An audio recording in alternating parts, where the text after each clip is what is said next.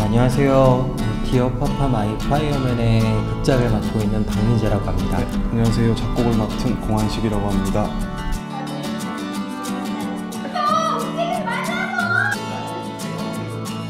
아, Dear Papa My Fireman은 어, 소방관 아버지와 그, 어, 그의 딸에 관한 이야기예요. 그래서 화재 현장에서 구조 현장에서 어, 딸을 구하지 않고 다른 사람을 구한 어, 그런 상처를 받고 있는 딸과 그리고 그런 딸과 화해를 하고 싶어하는 아버지의 이야기를 담은 작품입니다.